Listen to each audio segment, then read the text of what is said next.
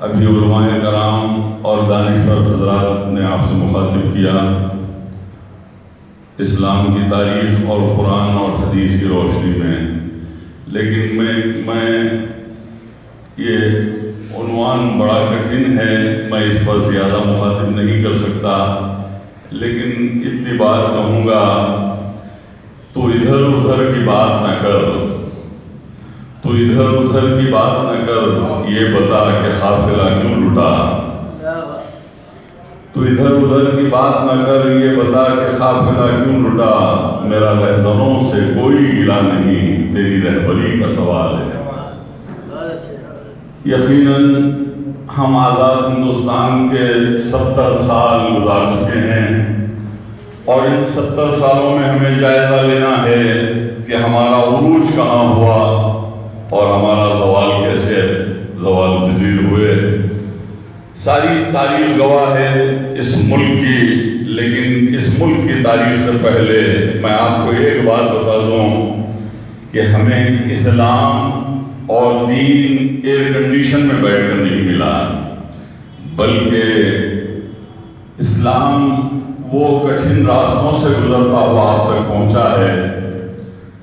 خاتم النبین رسول النبین شفیع النبین سید الانبیاء، رحمت للعالمین، محمد مصطفیٰ صلی اللہ علیہ وسلم نے جد و جہد کی، قربانیاں دی، دندان مبارک شہید ہوئے، اور میرے آقا سرکار دو عالم صلی اللہ علیہ وسلم نے پیٹ پر تین تین پتھر باندھا۔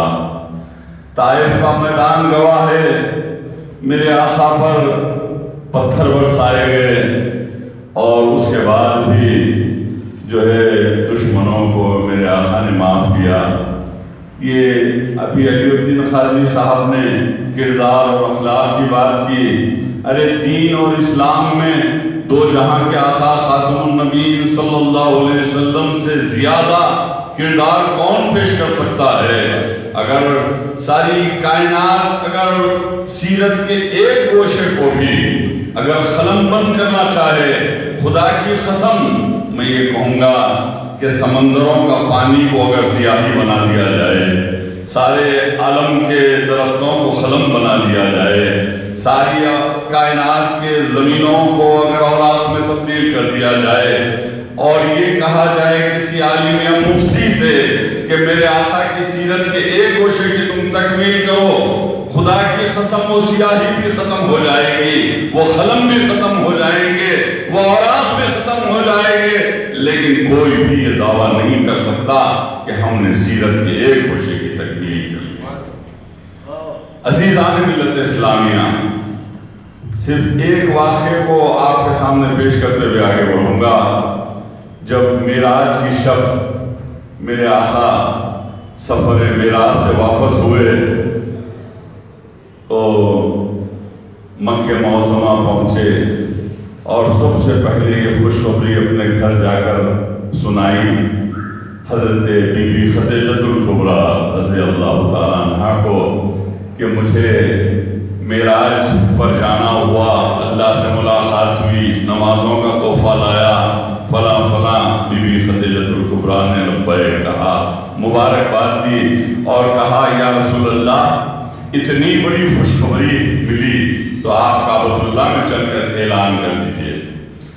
اور کعبۃ اللہ میں میرے آقا نبی کریم صلی اللہ علیہ وسلم نے میراج کے واقعے کو پیش کرنے لگے تو وہاں پر کچھ مخالفین بھی تھے مشرقین بھی تھے اور وہاں پر کچھ جان نثار بھی تھے۔ جان نثاروں کا ایک گروپ مبارکبادی دینے لگا اور آقا تو جہاں کے کہنے پر لبیک کہا اور یہ مخالفین اور جو ہے مشرقین کا بھی ایک گروپ تھا اور وہ اپنی مخالف ذہن سے کئی اندازے لگاتے رہے۔ فوری پہنچ کر حضرت ابو بکر صدیق رضی اللہ تعالیٰ عنہ سے یہ کہا کہ اللہ کے رسول صلی اللہ علیہ وسلم فرما رہے ہیں، راتوں رات میراج بھی گئے۔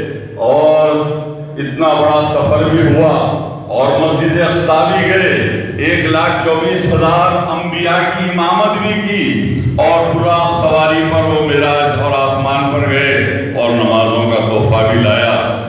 اور ایسا اگر کوئی شخص کہے تو آپ کیا کہیں گے؟ تو حضرت ابو بکر صدیق رضی اللہ تعالیٰ انہوں نے کہا، کہنے والا یہ نے کہا، اللہ کے رسول صلی اللہ علیہ وسلم کہہ رہے ہیں، تو خدا کی قسم کہ حضرت ابو بکر صدیق رضی اللہ تعالیٰ عنہ نے کہا، اگر یہ سرکار نبی کریم صلی اللہ علیہ وسلم نے کہا ہے، تو بے شک وہ نے میراج ہوئی ہے اور اللہ سے ملاقات ہوئی۔ بہرحال، یہ دونوں مخالف گروپ جو ہے، آ کر طرح طرح کے جو ہے، سوالات کرنے لگے نبی کریم۔ اللہ علیہ وسلم سے اور کہا، یا رسول اللہ، آپ بتائیے مسجد اقصا کیسی تھی؟ آپ بتائیے، ایک لاکھ چوبیس ہزار انبیاء سے آپ نے امامت کی۔ مسجد میں کیسے رنگ کی مسجد تھی؟ کیسا تھا؟ بہرحال اللہ کے رسول صلی اللہ علیہ وسلم کو غیب کا علم تھا۔ سرکار فرماتے گئے، تو جان نثاروں نے جو ہے خوشی کا اظہار کیا، لبیک کہا مخالفین اور دشمن اور مشرقین نے مخالفت کرتے رہے، پھر مخالف گروپ سے آواز آئی، یا رسول اللہ، یہ بتائیے، جب آپ معراج کے سفر سے واپس ہو رہے تھے، تو مکے سے تین ہمارے قافلے اونٹوں کے گئے، وہ جو ہے، واپس کب آئیں گے؟ پہلے تو کلر پوچھا تعداد پوچھی، اس کے بعد اللہ کے رسول صلی اللہ علیہ وسلم نے تعداد بھی بتلا دیا، کلر بھی بتلایا۔ اس کے بعد کہا، یہ بتائیے، یا رسول اللہ، اگر آپ اللہ کے رسول ہیں، غیب کا علم ہے، تو آپ یہ بتائیے، تین قافلے کب آئیں گے؟ تو پیارے آقا نبی کریم صلی اللہ علیہ وسلم نے کہا، کل صبح کا سورج طلوع ہوگا سورج ادھر نکلتے رہے گا، پہلا قافلہ واپس آئے گا مکے کو اونٹوں کا۔ دوسرا قافلہ دن کے بارہ بجیں گے، سورج سر پر ہوگا۔ دوسرا قافلہ مکے میں داخل ہوگا۔ اور تیسرا قافلہ جب سورج غروب ہوگا، ادھر سورج غروب ہوتا رہے گا۔ اور تیسرا اونٹوں کا قافلہ مکے میں داخل ہوگا۔ اب اب مخالفین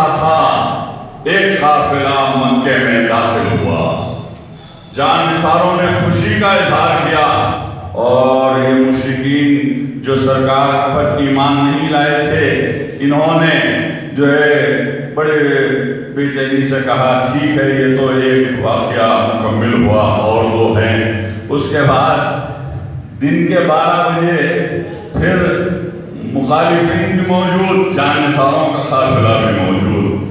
اور بارہ بجے سورج سر پر تھا۔ دوسرا قافلہ مکے میں داخل ہوا۔ پھر جان نثاروں نے جو ہے بڑی خوشی منائی۔ مخالفین کے حوصلے پس ہونے لگے اور کہا یہ اللہ کے رسول، کا معجزہ سمجھ میں آ رہا ہے، لیکن تیسرا اگر ہو گیا تو پھر بھی ایک واقعہ موجود ہے۔ اب آپ غور کیجیے، شمع محمدی کے پروانوں۔ تیسرا اب سورج غروب ہونے کو ہے۔ اب قافلہ آنے والا ہے۔ کوئی جانور ہے، زخمی بھی ہو سکتا ہے، کہیں گر سکتا ہے، کہیں اونٹ کو مار لگ سکتا ہے، کوئی لنگڑ سکتا ہے۔ اب ادھر سورج کچھ ہی دیر کے بعد غروب ہونے والا ہے۔ قافلہ نہیں آ رہا ہے۔ جان نثاروں کی ایک نظر قافلے پر ہے۔ اور ایک نظر سورج پر ہے اور مخالفین اور مشرقین کی نظر بھی اسی طریقے سے قافلے پر ہے اور ادھر سورج پر ہے۔ سات بج گئے، سورج نہیں ڈوب رہا ہے، نہ قافلہ آ رہا ہے۔ آٹھ بج گئے، نہ قافلہ آ رہا ہے، نہ سورج ڈوب رہا ہے۔ رات میں نو بج گئے تاریخی واقعہ ہے۔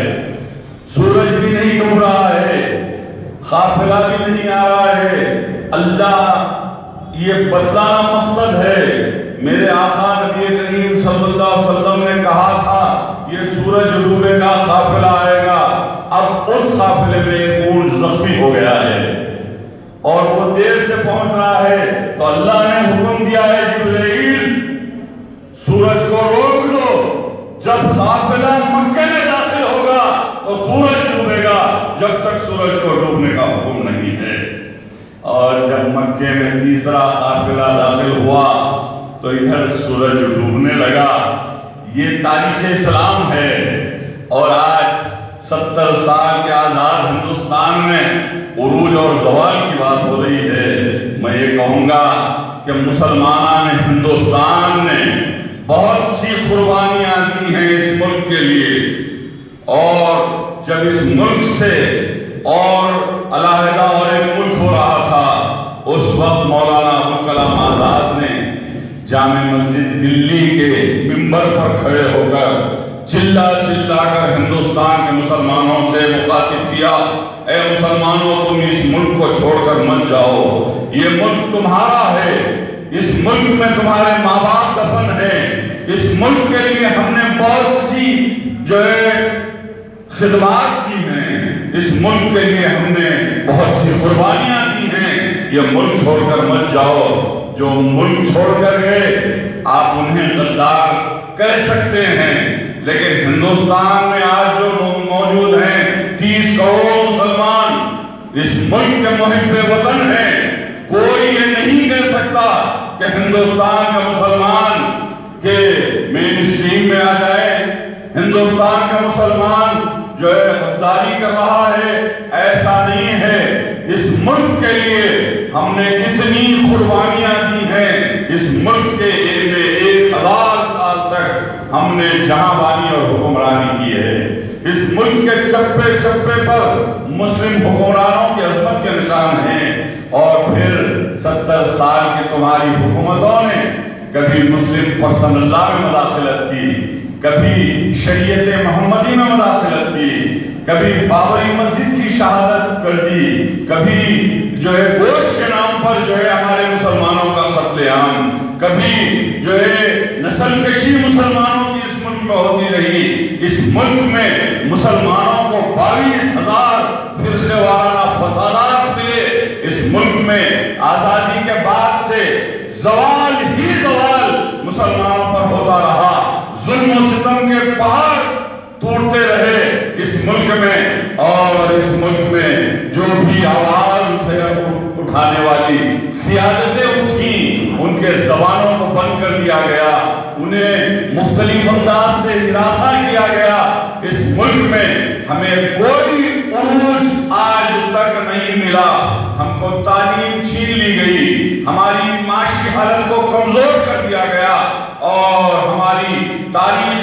تاریخی اسلاف کو مٹانے کی کوششیں کی گئی اور آج کی جو ہندوستان کی موجودہ حکومت ہے، وہ ہزاروں مسلمانوں کے قتل عام کی ذمہ دار ہے۔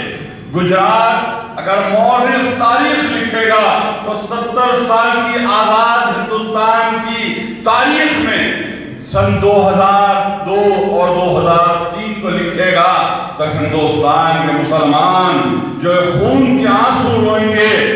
کیونکہ حاملہ خواتین کے پیٹوں سے بچوں کو نکال کر اس انسانیت سوچ ویشیانہ حرکتیں کی گئی اور ترشول پر بچوں کو لے کر رقص کیا گیا۔ اس ہندوستان کی تاریخ گواہ ہے۔ اور زوال ہی زوال ہمیں ملا۔ آپ اندازہ کیجیے، آج ہم نے اس ملک پر ایک ہزار سال تک حکمرانی کی تھی، لیکن آج بات کی جاتی ہے چار فیصد، تین فیصد، دس فیصد ریزرویشن کی۔ ارے وہ قوم جو اس ملک کے لیے بہت کچھ دیا ہے، اور وہ قوم آج اپنا دامن پھیلا کر جو ہے تحفظات مانگ رہی ہے۔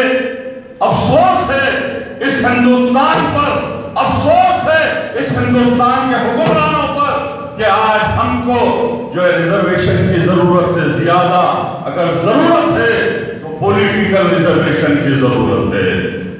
ہمیں پولیٹیکل ریزرویشن دے دیا جائے، جیسا کہ تم نے اس چیز کو دیا ہے۔ اس چیز کو دیا ہے اور جو ہے بی سیس کو دیا ہے۔ آج میں آپ کو ایک بات بتاؤں، گزشتہ پندرہ برس سے زہیر آباد ایک مثال پیش کر رہا ہوں۔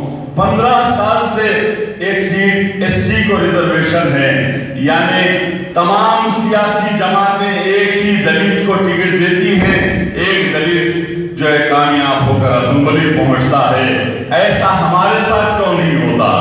آپ بتائیے پولیٹیکل ریزرویشن کیوں نہیں ہے؟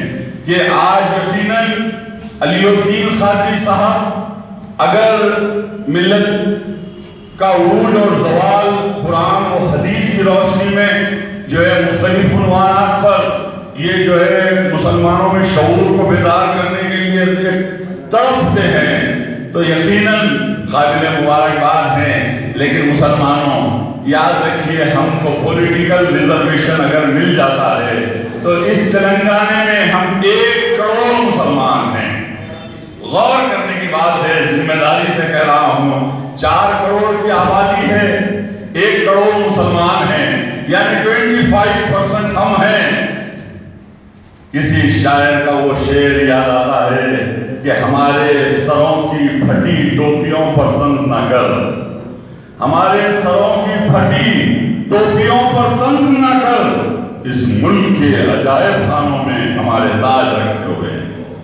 آج غور کیجیے کہ پچیس فیصد مسلمان تلنگانے میں ہیں اور ایک سو انیس ایم ایل ایز میں تیس ایم ایل ایز ریزرویشن اگر ہوتا پولیٹیکل تو تیس ایم ایل ایز ہمارے اسمبلی میں داخل ہوتے اور جب ہم کس کا گریبان پکڑیں، ہم کس سے کیسے مسائل کو حل کرائیں، ہماری تعلیم کو کیسے مضبوط بنایا جائے، ہمارے اسلاف کی نشانیوں کو کیسے تحفظ کیا جائے، ہم دیکھیں گے۔ میں آپ کو ایک بات بتاؤں کہ ہم کو پولیٹیکل ریزرویشن بے حد ضروری ہے ہندوستان میں۔ پانچ سو بیالیس لوگ سبھا پیس ہیں اور آج چھپیس مسلمان راجیہ سبھا اور لوگ سبھا میں ہیں، جبکہ بابری مسجد کی شہادت کے وقت ستر ارکان پارلیمنٹ مسلمان تھے۔ آج ایک کھنونی سازش ہے، آر ایس ایس کی۔ ایک کھنونی ناپاک سازش ہے، جو ہے ایچ پی کی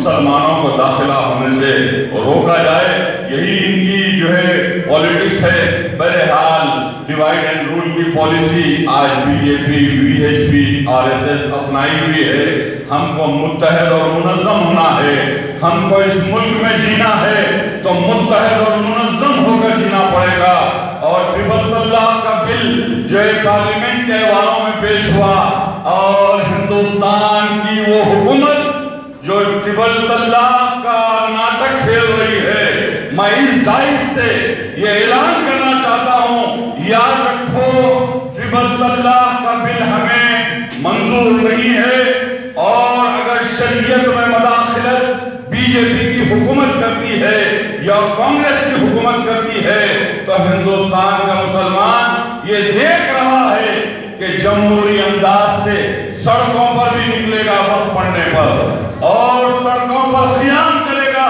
لیکن اپنی شریعت کو بچائے گا اپنے پرسن اللہ کو بچائے گا اور شریعت میں ہونے والی مداخلت پر احتجاج کرے گا۔ ہم کوئی للو پنجو نہیں ہیں۔ ہندوستان کا آج کا مسلمان زخمی شیر کے مانند ہے۔ مسلمان گجرات بھی یاد ہے، مسلمان کو بابری مسجد بھی یاد ہے۔ اخلاق حسین بھی یاد ہے۔ جو ہے یہ ہم کو متحد اور منظم ہو کر جو ہے کام کرنے کی ضرورت ہے۔ یقیناً سادات ویلفیئر اینڈ ایجوکیشن سوسائٹی قابل مبارکباد ہیں۔ میں علی الدین خادری صاحب کو جو ہے شکریہ ادا کرتا ہوں۔ اور پوری ٹیم کو۔ کمیٹی کے تمام اراکین کو بھی مبارکباد دیتا ہوں۔ اور آج یہ اللہ کا فضل ہے آج کے سیمینار میں تعداد زیادہ ہے۔ اور اسی طریقے سے ہم زیادہ سے زیادہ آئیں اور ایسے سیمینارز کو سماعت کریں جو ملت اسلامیہ کے لیے ہیں۔ بہرحال آج ملت کے لیے اتحاد وقت کا اہم تقاضا ہے اور ملت کے لیے جو ہے اتحاد کے ساتھ ساتھ پولیٹیکل ریزرویشن پر توجہ دے شکریہ خدا